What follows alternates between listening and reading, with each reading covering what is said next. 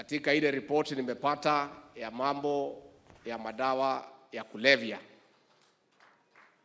drug and substance abuse hapa Isiolo is a bit worrisome. Iko si hali nzuri. Madawa ya kulevya imejaa hapa Isiolo, hasa hapa town, na imeanza kutembea mashinani. And in the next few weeks nitaongea na regional commissioner wa Eastern, tutaweka mkutano mkubwa na viongozi na maofisa wote wa usalama. Tumesema machifu hawa wanajua pahali madawa iko. And the new policy direction from our government is simple.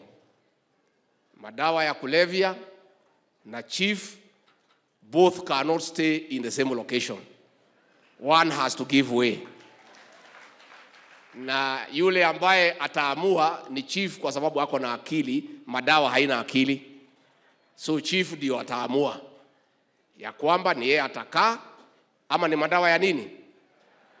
Vile vile tumekubaliana the station commanders, there will be no transfer of station commanders who fail to deal with drugs because transferring him is transferring a problem to another part of Kenya.